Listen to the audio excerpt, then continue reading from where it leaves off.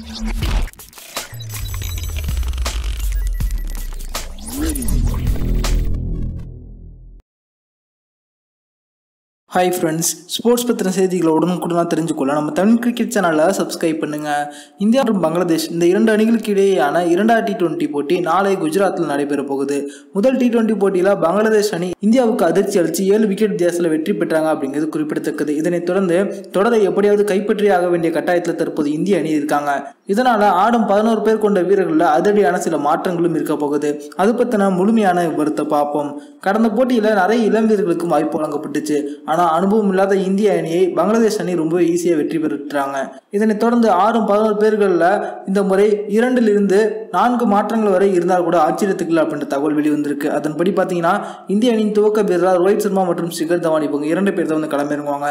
அடுத்ததாக மூன்றாம் கால வீரராக கே எல் ராகுல் அணியிலிருந்து நீக்கிட்டு அதிரடி ஆட்டக்காரரான இளம் வீரர் சஞ்சு சாம்சன் அவர்களுக்கு வாய்ப்பு வழங்கப்படுறதுக்கு அதிகமான வாய்ப்பு இருக்கு. சஞ்சு சாம்சன் ஒரு விக்கெட் கீப்பராக இருந்தாலும் கூட அணியில் ரிஷப் பண்ட் இருப்பதன் காரணத்தினால அவர் ஒரு ஃபீல்டராகவே பயன்படுத்துவாங்க.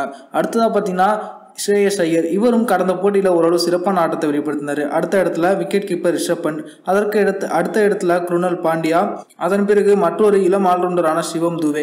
இவர் கடந்த போட்டியில் தனக்கு கொடுக்கப்பட்ட வாய்ப்பை சரியாக பயன்படுத்தி கொள்ளல அப்படின்னே சொல்லலாம். இருந்தாலும் இளம் வீரர் அப்படிங்கிற காரணத்தினால இவருக்கு மற்றொரு வாய்ப்பும் கொடுக்கப்படும். அடுத்ததாக பார்த்தீங்கன்னா தமிழகத்தைச் சேர்ந்த ஆல்ரவுண்டரான வாஷிங்டன் சுந்தர் இவர் கடந்த போட்டியில் சிறப்பான ஆட்டத்தை வெளிப்படுத்தினார். அதற்கு அடுத்து யுவேந்தர் சஹால் தீபக் சகர் கடைசியாக பார்த்தீங்கன்னா கடந்த போட்டியில் பார்த்தீங்கன்னா இந்திய அணிக்காக வேகப்பந்து வீச்சாளராக களமிறங்கின கலில் அகமது அதிகமான ரன்களை வாரி வழங்கிட்டார். அதுவே தோல்விக்கு ஒரு முக்கியமான காரணமாகவும் அமைஞ்சது.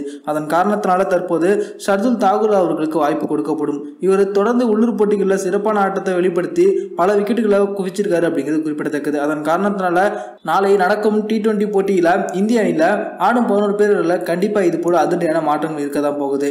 இந்த வீரர்களில் வேறு யாரை எல்லாம் நீக்கிட்டு எந்த வீரருக்கு வாய்ப்பு கொடுத்தா சரியாக இருக்கும் அப்படின்ற உங்களோட கருத்தை கீழே கமெண்ட்டில் லீவ் பண்ணுங்கள் இந்த வீடியோ உங்களுக்கு பிடிச்சிருந்துச்சுன்னா லைக் பண்ணுங்கள் ஷேர் பண்ணுங்கள் நன்றி.